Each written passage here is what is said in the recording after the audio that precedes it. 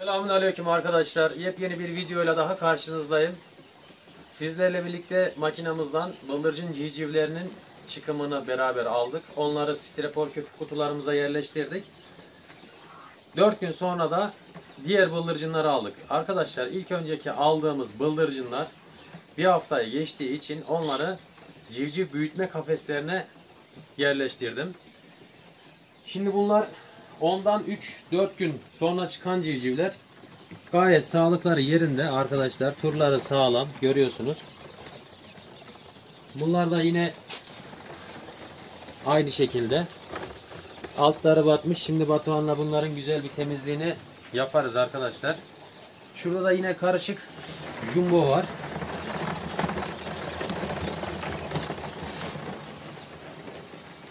Şimdi hep birlikte arkadaşlar diğer bıldırcınlarımızı civciv büyütme kafeslerine almıştık dedim. Oraya götüreceğim sizleri. Onlarla da ilgili sizlere güzel bilgiler vereceğim.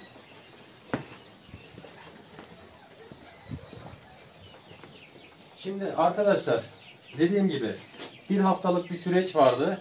O süreç tamamlandı. Ve bunları kafeslere aldım. Burada da yine gayet Neşeleri yerinde. ısı derecelerini 3 derece düşürdüm. 33 derece şu anda. İlk çıkımlarda 37 dereceydi. Daha sonra bir hafta geçtikten sonra 3 derece düşürdük. Her hafta ne yapıyoruz? 3 derece 3 derece düşüreceğiz arkadaşlar. Ta ki kendilerini kurtarana kadar. Bu ne demek oluyor? 3 haftalık bir süreç demek oluyor arkadaşlar. Şimdi üretici ve hobici arkadaşların bu gibi kafesleri olabilir. Arkadaşlar şimdi bu kafeslerin sıkıntısı tavuk civcivlerinde güzel. Hiçbir problemi yok. Ancak bıldırcın civcivlerinde altlarında siyah tabla var. Çıkan civcivleri komple içine doldurduğumuz anda hayvanlarda çok büyük ölümler meydana geliyor. Nedeni ise pisliğini gübre tavasına yapamaması. Yani ızgaralı mı? Evet. Altında ızgarası var fakat yeni çıkan bıldırcın civcivleri ayakları içine gidiyor. Öyle bir zayiat oluyor. Onun dışında e, pisliğin içerisinde oldukları için dediğim gibi göz şişmeleri, nefes darlıkları yani çok zayiatlar oluyordu arkadaşlar. O yüzden strepor köpük kutuları geliştirdik. Bir hafta 10 gün onda baktıktan sonra buraya alıyoruz. Neden? Biz şimdi üretici olduğumuz için sayı fazla oluyor. Yani o strepor köpük kutularının içerisinde de yani bir 70 tane 80 tane besleyebilirsiniz. Bunu da 3 hafta 4 hafta içinde yine kendini kurtarana kadar besleyebilir hobici arkadaşlar. Ama bizim gibi üretici arkadaşlar bu sistemi mutlaka yapmak zorundayız arkadaşlar. Değilse bıldırcınlarda çok zayiat veriyoruz. Şimdi bir hafta sonra bakıyorum bu yemliklerin üzerlerine kalas parçası koyanı mı ararsınız? Yani gördüğüm kadarıyla programlarda yine elinde maşrapa üzerinden böyle yem dökenleri mi ararsınız? Ters çevirip komple kapatanı mı? Neyse bunları geçelim. Bunların da püf noktasını sizlere söyleyeyim. Şimdi arkadaşlar görüyorsunuz yani bu kapağı hiç kullanmamıza dahi gerek yok. Neden? Şöyle bir şey geliştirdim.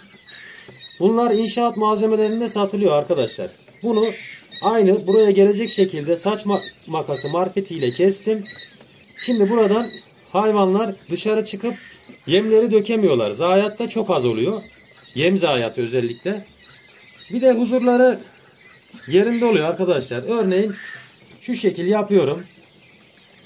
Çünkü oradan uzatıp kanal halinde açıyorlar önlerini. Bu şekilde yapıyorum arkadaşlar hayvanlar gayet güzel bir şekilde yemlemelerini yapıyorlar.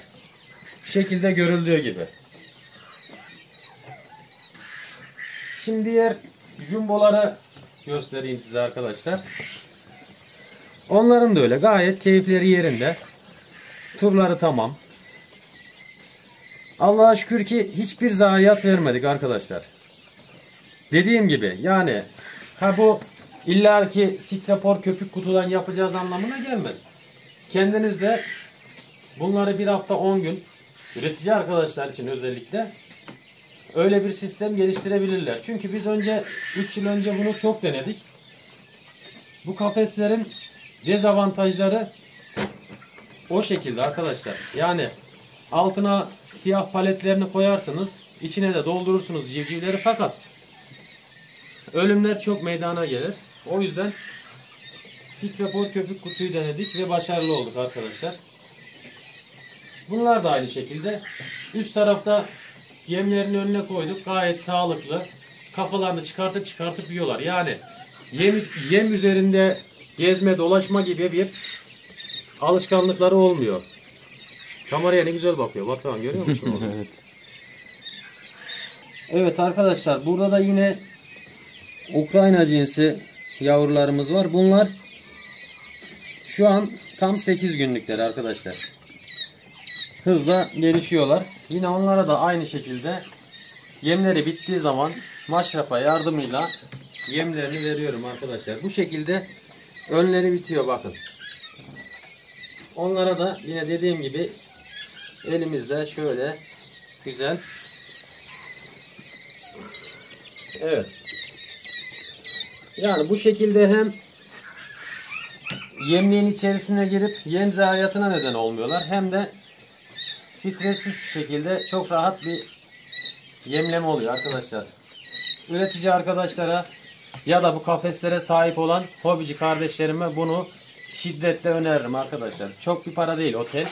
Alıp aynı oraya güzelce gelecek şekilde kesip yine bunlar plastik neticede şöyle bir çivi yardımıyla delip arkadaşlar gördüğünüz gibi bunları buraya bağlayabilirler. Ha tavuk yetiştirecekleri zaman da bu teller demonte olduğu için kendileri rahatlıkla çıkartırlar.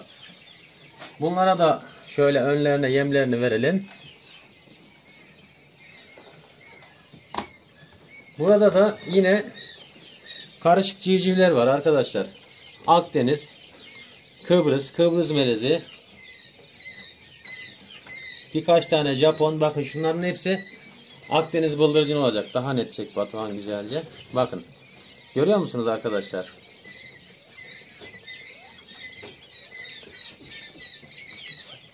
Şimdi Batuhan'la akşam yine yemlemeleri yaptım. Zaman zaman Çin bıldırcınları yerlerinden kaçabiliyor arkadaşlar. Yani farkında olmaksızın. Ya burada yemlemeyi yaptım bir baktım. Kuyruklu bir şey görür gibi oldum. Asıl konumuz da oydu. Başka yerlerden başladık. Tabi böyle bir yer işletme olan yerde bütün önlemleri almak zorundasınız. Fare kapanım vardı. Kurdum. Yakaladım kaçağı. yani bizim hiçbir şeyimize dış etmenler zarar veremez arkadaşlar. Onu da elime alıp size göstereyim. Evet. Kaçağı yakaladık arkadaşlar. Aa, akşam fark ettim. Esasında buraları tamir tadilat yaparken yine tabanların betonlarını yenilemiştik. Fakat toprak bir yapı, kerpiç yapı olduğu için aralarda açıklık kalmış. Muhtemelen bu da dışarıdan geldi. Yani ilk önce çim balacını zannettim. Kuyruğunu gördüm. Görünce kapanlar tabi vardı. Hemen getirdim. Deliğin ağzına koydum ve yakaladım. Buradan Ahmet'in tavukları, Ahmet kardeşime de sevgilerimi iletiyorum. Ya kardeşim senin oradaki fareler sansar gibi onlarla mücadele edemezsin. Bizimkiler biraz evcil görüyorsun. Ev faresi. Hamster gibi. Hamster gibi ama onu da yakaladım. Kesinlikle müsaade etmem buna. Harikalar Diyarı Turgut kardeşime, bisikletli rehber İbrahim kardeşime, Cansu kardeşime yani bu camiada gönül vermiş bütün kardeşlerime sevgilerimi iletiyorum. Emrah Bilgili kardeşime de ayrıyetten ziyaretlerde bulunacağım. Ona da buradan sevgilerimizi iletiyoruz. Başka videolarda görüşmek üzere diyorum arkadaşlar. Hoşça kalın. Kendinize çok iyi bakın. Hepinizi çok seviyorum.